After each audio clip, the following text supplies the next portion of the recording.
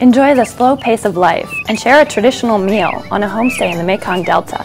This is one of the many experiences you'll have on our Vietnam Discovery Tour. I'm Sarah, Product Manager of Asia Travel and Leisure.